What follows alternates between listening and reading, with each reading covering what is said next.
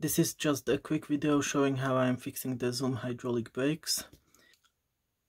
I took off the calipers because they were leaking in the connection point and here you can see what it looks like when it's taken off.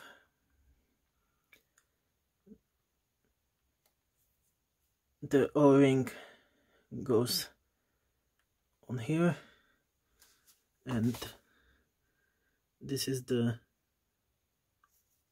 old one. You can see how it's all messed up. I bought a pack of new ones that match it so I will try to replace that. And then if you take out the screw from the banjo this is what it looks like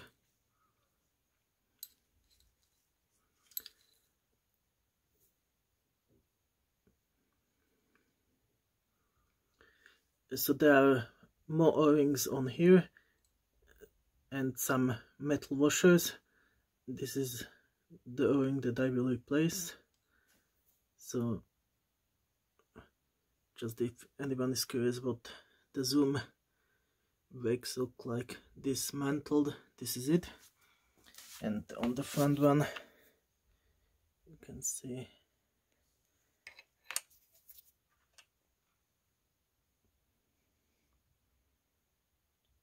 I've taken it out.